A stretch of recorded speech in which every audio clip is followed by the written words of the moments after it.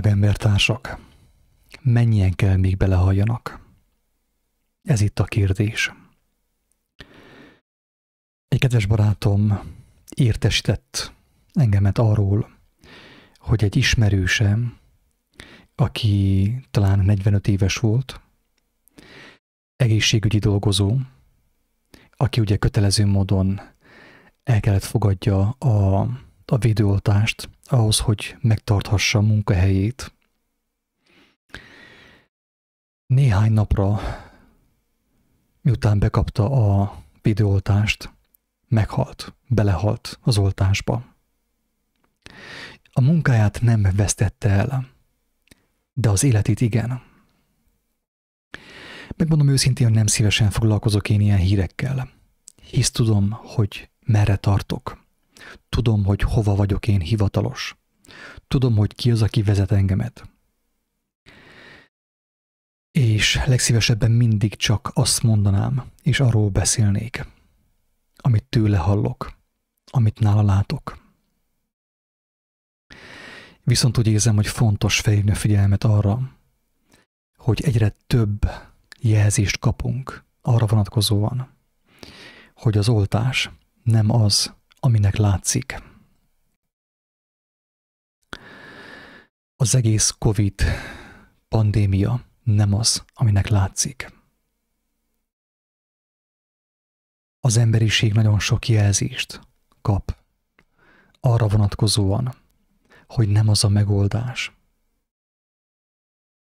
amit kínál számunkra a világ, az előjárók, a hatalom.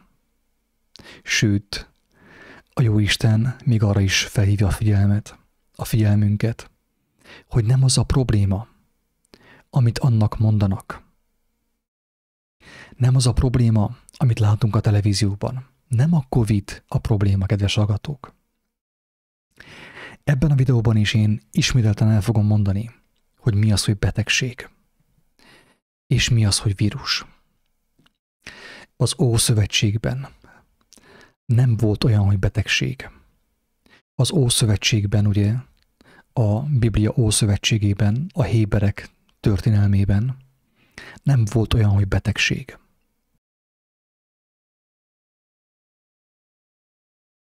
Amit ma úgy hívunk, hogy betegség, azt ők úgy nevezték, hogy tisztátalanság. Ez azt jelentette, hogy akinek ilyen elváltozásai voltak a bőrén, bármilyen fajta elváltozás, úgymond rendellenesség, arra nem azt mondta az előjáró, az akkori előjáró, a pap, hogy az ember beteg, kamillás borogatást térdek a homlokára, hanem úgy fogalmazott, hogy tisztátalan. Azok az emberek tudták, hogy, hogy az Úristennek a törvényének szerves részét képezi az, hogy amikor az ember letér az élet útjáról, ha az ember valami olyant követ el, ami életellenes, ha az ember olyan gondolkodásba, olyan lelkületbe kerül, ami életellenes, akkor ő meggyengül. Úgy van megalkotva az emberi szervezet, hogy reagál arra, hogy a lélek nem az élet útján jár. Meggyengül. Elváltozás történik a testen. És az jelzést ad a léleknek, hogy valamit ő rosszul csinált, valamit rosszul gondolt, rossz irányba indult el, letért az élet útjáról. És ezt úgy nevezték régebb, hogy tisztátalanság. Ha valakinek valamilyen baja volt, a pap megvizsgálta a bőrét, megvizsgálta a, a testét, és azt mondta, hogy tiszta vagy tisztátalan. Ha tisztátalannak ítéltem az illető szemét, akkor azt mondta, hogy, hogy vigyék ki a közösségen kívül egy hétre, két hétre, tíz napra, akármennyi időre. És hogyha lejár az az időszak, amíg ő kint van egyedül a közösségen kívül, úgymond kényszerbőtben van, akkor jöjjön vissza, és újból megvizsgálja, hogy elmúlt-e az ő tisztátalansága, vagy még mindig megvan.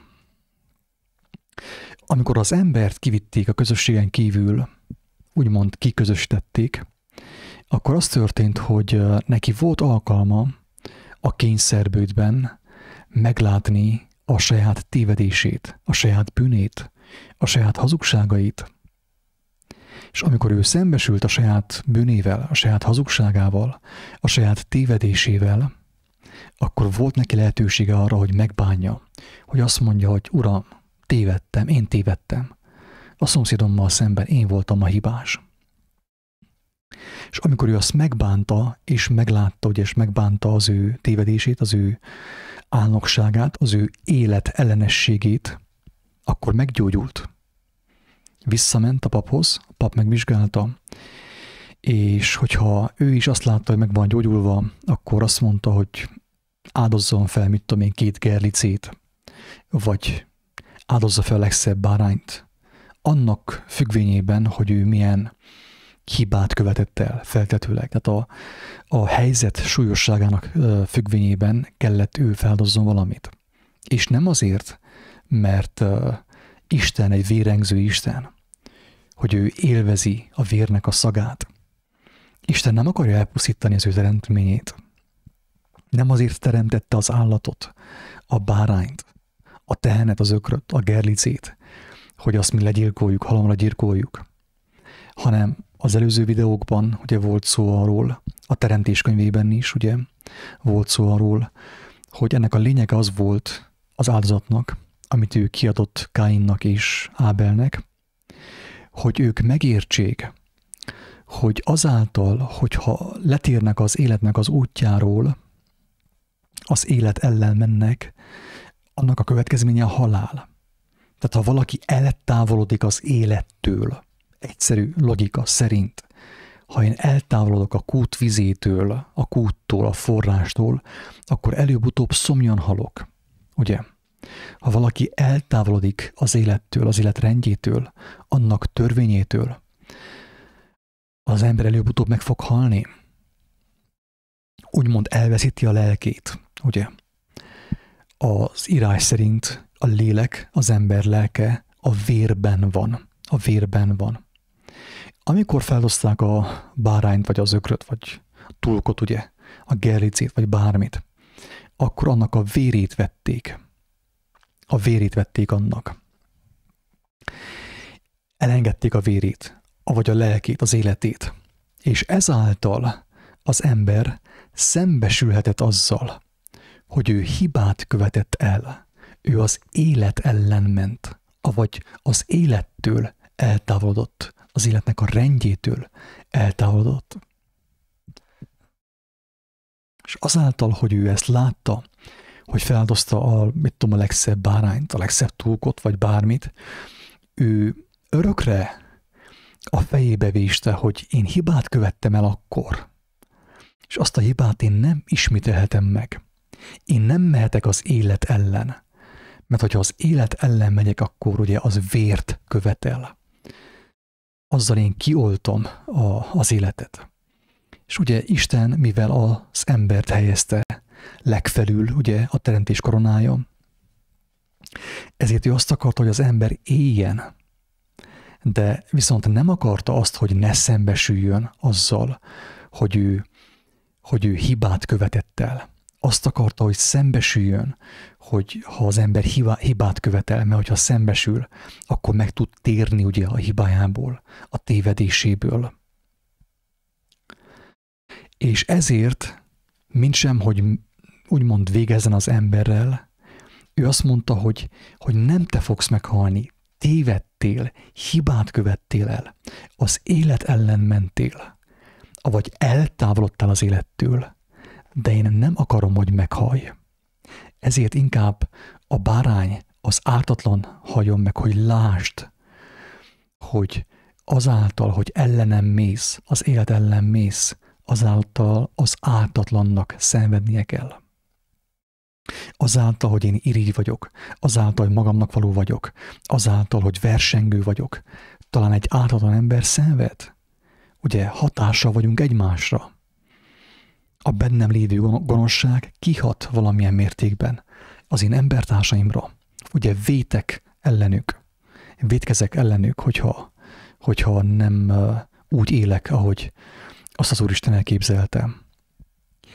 Ez volt a vér áldozatnak a lényege. Kedves hallgatók! És uh, akkor így most talán jobban megértjük, hogy miért hazugság. Mert ugye én a magam részéről radikálisan, úgymond szélsőségesen kijelentem azt, hogy az igazságban nincsen vírus. Nem, hogy Covid nincsen, influenza sincs, sosem volt influenza. Sőt, az igazságban nincs semmilyenféle betegség. Tehát megérthettük, megérthetjük, hogyha van bennünk igazság, szeretet, hogy amikor az ember beteg, amit úgy hívunk, hogy betegség, az arra van, hogy jelezze számunkra, hogy letértünk az élet útjáról. De mit tettünk mi? Mi azt tettük, azt cselekedtük, hogy ezt a törvényt úgymond figyelmen kívül hagytuk. Figyelmen kívül hagytuk, hogy a testnek a dolga az, hogy jelezze, hogyha valami nem stimmel a lélekkel, hogyha lélekben tisztátalanság van. De mi ezt teljesen félredobtuk, figyelmen kívül hagytuk. És azt mondtuk, hogy mi, mi a COVID miatt szenvedünk. A láthatatlan vírusok, az influenza, a nátha, meg nem tudom én milyen vírusok miatt szenvedünk.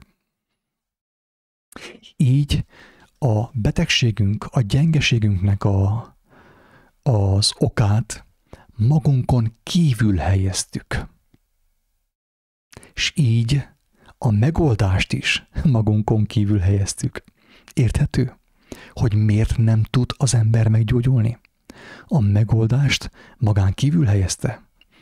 Ő nem azt mondta, hogy az igazság az, hogy én, én nem ismerem az életnek az útját. Letértem az élet útjáról. Védkeztem, hibát követtem el, hazugságban éltem, és annak következtében én meggyengültem. Tisztátalanná váltam, és meggyengültem. És ezáltal esélyt kaptam arra, hogy megigazuljak, hogy meglássam az igazságot, hogy visszatérhessek az élet útjára. Én nem ezt mondtam, hanem azt mondtam, hogy egy láthatatlan fantom betegség engemet megtámadt. Ő a hibás. És várom a vakcinát, ami még jobban bevakít. Már így is vak voltam, mert azt mondtam, hogy az én gyengeségem, az én betegségem nem miattam van, nem a bennem lévő tisztátalanság miatt van, nem a bennem lévő tiszteletlenség élettel, annak szerzőjével szembeni tiszteletlenség miatt van, hanem azt mondtam, hogy az én betegségem, az én gyengeségem a vitamin hiány miatt van. Nem napoztam eleget, a D-vitamin hiány miatt van. A lenkei vitamin hiány miatt van. A koronavírus, meg az UFO-k által terjesztett különböző sugárzások miatt van. És amikor elhittem, hogy az én betegségemnek az oka rajtam kívül van, hogy nem én vagyok felelős az én betegségemért, akkor a felelősséget teljes mértékben kitoltam, eltoltam magamtól, de ugyanúgy a megoldás, a gyógyulás lehetőségét is. Ezért beszéltünk és beszélünk folyamatosan arról, hogy szembesülés nélkül nincs megoldás. Szembesülés nélkül nincs megbocsátás, nincsen feloldozás, nincsen gyógyulás. Ezért beszélünk folyamatosan arról, hogyha valaki hárít, akár még ha nem is embertársára, hanem egy vírusra, egy fránya amerikai, vagy japán, vagy kínai vírusra, az ember, aki hárít, az nem akar szembesülni. Aki nem akar szembesülni, nincs ahogy meggyógyuljon. Amit úgy hívunk, hogy betegség, kedves hallgatók, az kényszerbőt, az is kegyelemből van, adatik számunkra. Arra van, hogy az ember meglassuljon, hogy szembesüljön azzal, hogy mit tévedett, milyen tévedései voltak, milyen hazugságai voltak, milyen bűnei voltak. De nekünk ez nem kell. Inkább elhisszük a fenevad képének, a képernyőnek, a tévéképernyőjének, a telefonképernyőjének, hogy a mi betegségünk, a mi nyomorúságunk egy kínai vírustól származik, és nem a mi szívünkből, ahogy mondta Jézus. Miért antikrisztus a Covid? Miért antikrisztus a vakcina? Azért, mert ellene mond, ellent mond a Krisztusnak. Aki azt mondja, hogy a szívből származnak a, a bűnök, a tisztátalanságok. A szívnek a tartalma fertőzi meg az embert.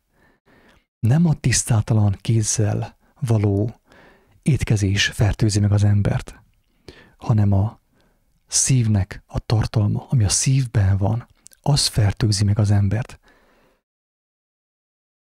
Ami a lélekben van, az fertőzi meg az embert. Ami az Istentől eltávolodott lélekben van, az fertőzi meg az embert. Érthető, hogy az emberek miért halnak meg Covid-ban, és minden más kitalált betegségben. Ezért. Ezért. Mert nem tudják a betegség okát. Ők azt hiszik, hogy valamilyen baktérium okozta a betegségüket, valamilyen vírus okozta a betegségüket. Jézus nem ezt mondta. Jézus azt mondta, hogy a szív tisztátalansága okozza a bajt, nem a mosdatlan kézzel való étkezés. Ezért nem tudnak az emberek meggyógyulni, sem maszkal, sem oltással, sem lélegeztetőgéppel, sem lenkei vitaminnal, sem uh, cannabis olajjal, sem ganodermával, sem aloeverával, semmivel. Csak egy picit meghosszabbítják a nyomorúságukat. Drága embertárs, nem rossz indulattal mondom, féltéssel mondom. Amit mondok, igaz. Aki nem hiszi, tudakolja az élő Istent, és meg fogja tudni személyesen tőle, hogy mi az igazság a Covidról, a betegségekről, a vírusokról, az influenzáról, és mindenről. Amit mondok, radikális. Miért hangzik radikálisan az, hogy nincsenek vírusok? Hazugság az, hogy vírusok mindig is voltak, vannak és lesznek. Miért radikális? Azért, mert maga a hazugság, amit mi hiszünk, az is radikális. Az elmúlt, mit tudom én, száz év alatt olyan mélységeket, mélységekre ment a megtévesztés, a hazugság. Hogyha valaki az igazságot előhozza, az radikális. Az evangélium, János evangéliuma azzal kezdődött, azzal kezdődik, hogy a világosság eljött a világba, de a világ nem fogadta be azt. A világ jobban szerette a sötétséget. A világ inkább akart hinni abban, hogy vírusok mindig is voltak, vannak és lesznek, mint abban, hogy Isten mindig is volt, van és lesz. És az Isten, az élő Isten, az örök élet forrása mindenki számára, aki őt keresi, aki őt kívánja megismerni. Tehát az igazság még ebben a videóban is valamilyen mértékig eljött a világba, a világhálóra. De a világháló nem fogadja be azt. Csupán egy néhány ember fogadja be azt. Néhány ember hallja meg csupán, hogy az emberi gyengeségnek, az emberi erőtlenségnek, az emberi betegségnek nem a vírus, nem a baktérium, meg nem tudom én mi a, az okozója, hanem az ember szívében lévő tisztátalanság. Annak a szívnek a tisztátalansága, amely el van távolodva Istentől, az igazi bizalmi állapottól, a gyermeki állapottól.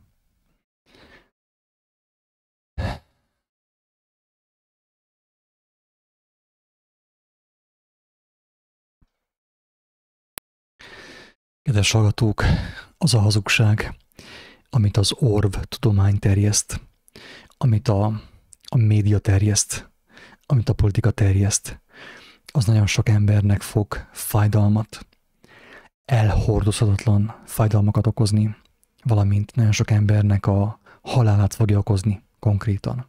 A szemünk láttára kerülnek be az emberek a kórházba, az oltás beadása után.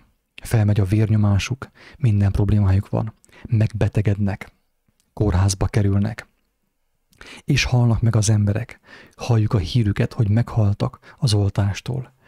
Még mennyien kell meghalljanak, még hány embernek a halál hírét kell meghalljat, ahhoz, hogy elgondolkoz azon, hogy vakvágányon van az életet. Hogy, hogy be vagy csapva, embereket követsz, nem vagy igazságban, eltávolodtál Istentől, nem hallod az élet hívó szavát. Még hány oltás okozta halálesetről kell halljál ahhoz, hogy felébredj, és mint gyermek, sírva, megtört szívvel tudjál fohászkodni. Kegyelemért, hogy az Úristen, ahogy megígérte, gyógyírt adjon a szemedre, hogy lásd, mi történik a világban, és lásd, hogy melyik az az út, amely kivezet ebből a világválságból. Ingyen kaptátok, ingyen adjátok.